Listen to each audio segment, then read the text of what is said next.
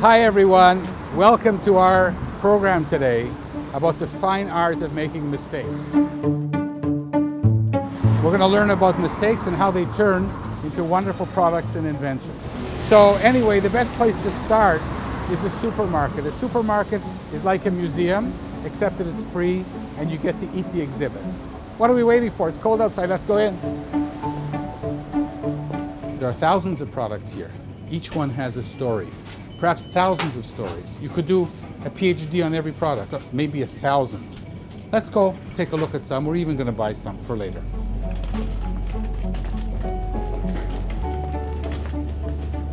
So first of all, some tea.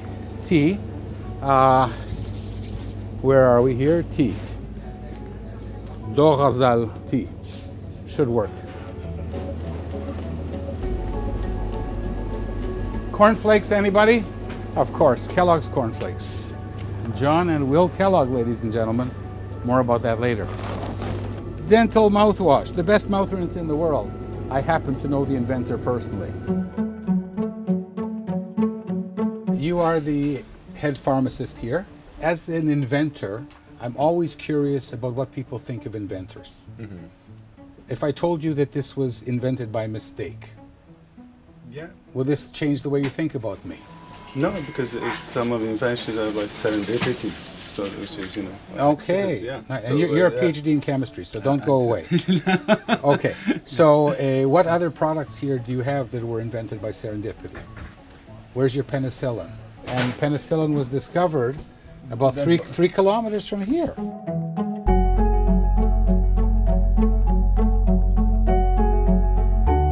So this is a remarkable moment for me because right up here on the second floor where I just visited was Sir Alexander Fleming's lab where he discovered penicillin. It became a commercial product just in time to save my life in 1952. How lucky I am.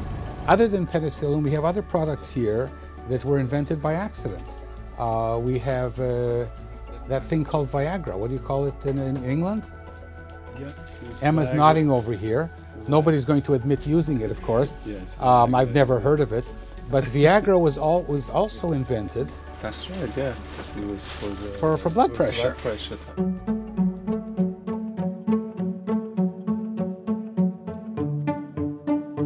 So I'm here with Sharon and Tim. Now, now's the time to tell the camera that you guys are representing a product in the UK which I happen to have invented. So let's have a look at it. So, okay, so this is a mouthwash that I invented by accident. This mouthwash uh, has a special mode of activation whereby the bacteria and the debris become stuck between the water and the oil droplets. And when you spit it out, you can see it in the sink. Shall I tell you how that happened? Yes. Maybe I should tell them how that happened. We were in the laboratory, a pharmaceutical company was coming, and I wanted to impress them by adding some color to the mouthwash because in the laboratory it was colorless. So I looked and I had one food color on the shelf, FD&C blue number one, I remember.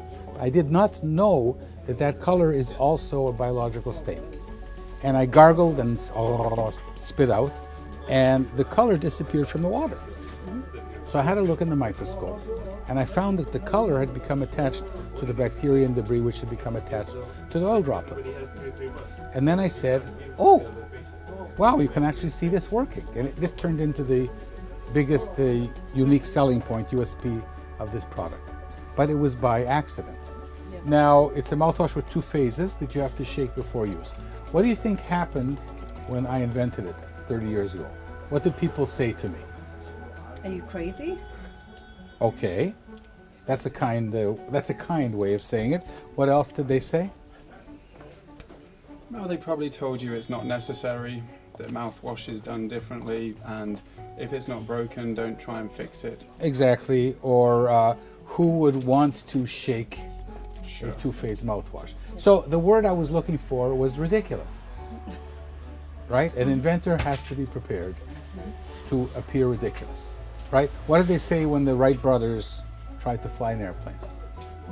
You're ridiculous. Probably even their mother.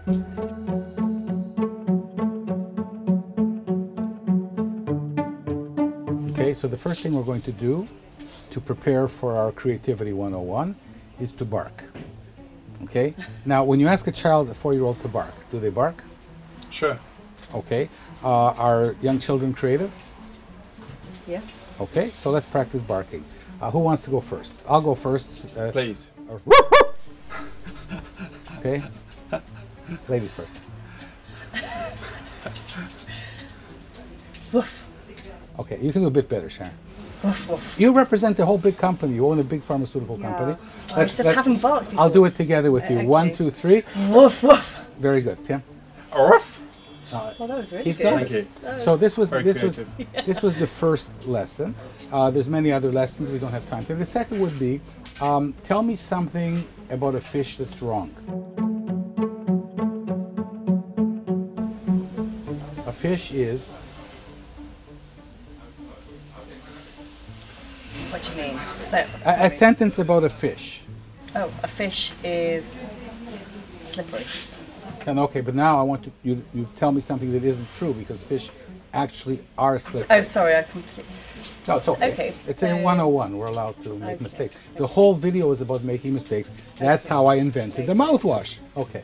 So, So- say something about a fish that's entirely incorrect. So, fish can hold intelligent conversations with human beings. Okay, that's wonderful. Hi, so I'm here with Emma, who just walked into the pharmacy. So I asked Emma en anglais, I asked her to describe creative people. And what did you say about creative people? So, uh, in my opinion, creative people are not afraid to take risk, generous and impulsive. Okay. Um, so would you say that they are curious people? Or definitely, yeah. Do they observe details? They are observing details and they're open-minded as well. They need to. Open-minded. So if I asked you, what kind of people like that are open-minded, aren't afraid to take risks, to make mistakes, uh, are curious, observe everything? What kind of people are we talking about? Everyone. Yeah, but when? At what When? at what age? What age? Oh yeah, kids. Yes. Definitely. Les kids, yeah. enfants. Les enfants beaucoup plus que les adultes. Oui, mais pourquoi? Why why why are kids more creative than adults? Or maybe they aren't. They are. It's just because their brain are not fastened yet into some habits and some things. So why do we are- fasten them? Why don't we let them just be them forever? I don't know. That's a good question.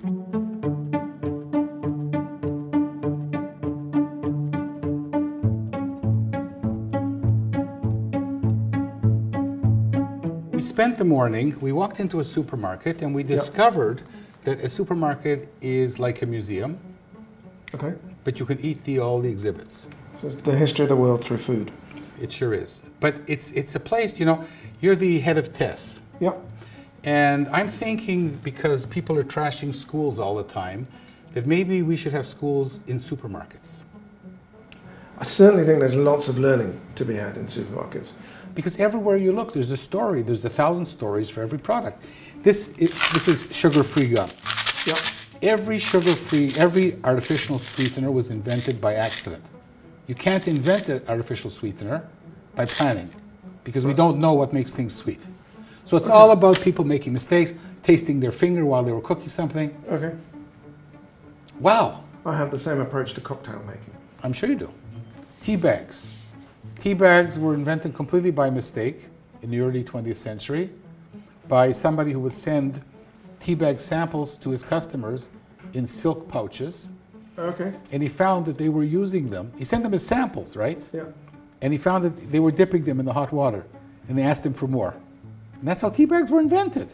Cool. The Kellogg brothers invented cornflakes by accident. Human beings invented fire by accident hundreds of thousands of years ago, but then they, they figured out how to do it themselves. So, if progress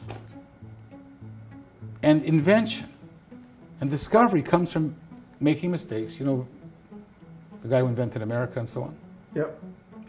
then why do we frown on mistakes? Why, why do kids spend their whole lives getting the right answers and then they come out into the world and they see that it's all about getting the right questions?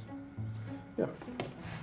Um, I mean, the answer to that, I think, is that we do have a system that's principally designed for compliance and for filtering. So it's a big filter for elite research-based universities to filter talent, and for everybody else, it's to train them to turn up on time, to sit up straight and behave, And not to make any mistakes. and do as they're told, not make any mistakes. Okay. So That worked really well for a factory-based industrial economy. so I'm a fan of kindergarten for life, Yeah, which I'm doing now. Actually, I never really left kindergarten. I can believe you. So, to end this, I'm going to ask you to say a true sentence about fish. Fish breathe through their gills and live in the sea. Okay. Now I want you to say, make a complete mistake. Say something completely imaginary, false, and Fish cheese is really tasty. the one and only Lord Jim Knight, ladies and gentlemen.